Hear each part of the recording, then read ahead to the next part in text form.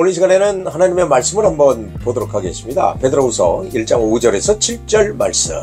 우리가 이제 어, 성경 공부할 때 이것을 어떻게 외웠냐면 앞자를 따가지고 그냥 외웠습니다. 미떡지, 절인격, 우사. 다시 해서 믿음, 덕, 지혜, 그 다음에 절제, 인내, 경건, 우애, 사랑. 믿음으로 시작해서 사랑으로 끝난다. 믿음, 소망, 사랑. 그 중에 제일은 사랑이라. 믿음과 소망은 이 땅에 있을 때 우리의 믿음과 소망이 필요하지만 하늘나라 갔을 때 우리가 영화된 몸을 가졌을 때 이미 사랑만이 있는 것. 그것을 우리가 반드시 가야 할 것입니다.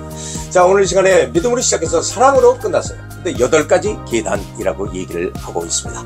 왜 8이라고 했을까요? 그렇죠. 8이라고 하는 숫자는 할례의 숫자입니다. 새 마음의 숫자입니다. 그래서 주님께서 우리를 함께 일으키시고 함께 살리시고 함께 하늘 보좌에 앉히신 그 놀라운 사건. 그렇다면 이것을 아는 자는 하나님의 성품을 따라가야죠. 결국 우리의 목적은 무엇일까요? 그렇죠. 하나님께 영광을 올리는 것입니다. 그 과정에 우리가 성화의 과정을 반드시 살아내야 한다는 것입니다. 어떤 신학자는 이렇게 얘기를 합니다. 교회는 무엇인가? 주님의 몸 된 교회는 바로 경건을 훈련하는 체육관이다.